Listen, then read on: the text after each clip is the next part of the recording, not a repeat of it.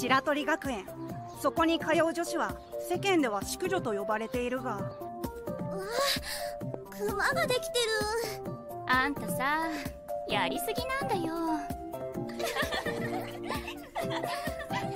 外面だけでご覧のありさまだ。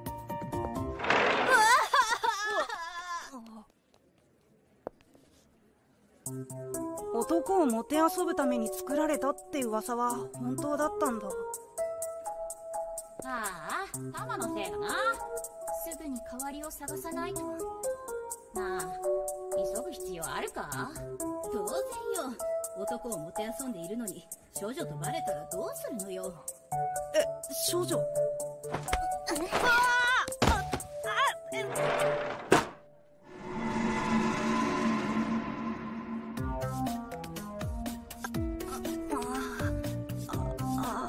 あのたわね。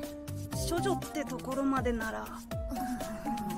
ごごめんなさい。誰にも言わないから。どどうなるんだろう。お秘密を守る証明をしなさい。もし書かなかったら。ええー、上出来ね。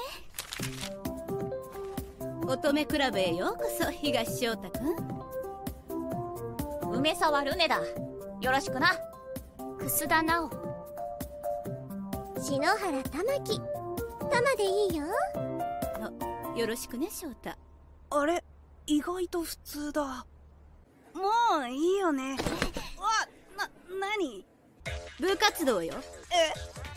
隠し続けるくらいなら。翔太君で済ますことに決めたの。この子たち普通じゃない。やばいよやばいよ始めましょうか。もう返してよ。男子部員は私たちに従う決まりよ。それは無理やり。インスタ映えするかな？時間切れね。ややめてよ。本当に可愛いわね。こんなのひどいよ。やっと落ち着ける。お邪魔してるわよ。うわちょっとうるさいわよでよ。わざわざ来たのよ。もっと喜びなさい。いやいやそれで何しに来たの？だ遊びでなんてダメだよ。